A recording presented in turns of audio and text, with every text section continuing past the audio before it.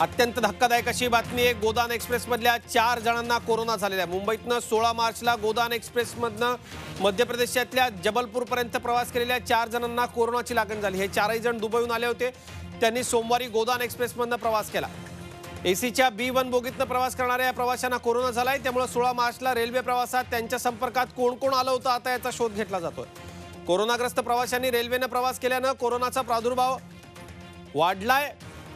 गोदान एक्सप्रेसमधल्या चार जणांना सोळा मार्चला गोदान एक्सप्रेसमधनं प्रवास करताना त्यांचे साथीदार कोण होते कोण त्यांच्या संपर्कात आलं होतं त्याचा आता युद्धपातळीवरती शोध घेतला जातो आहे.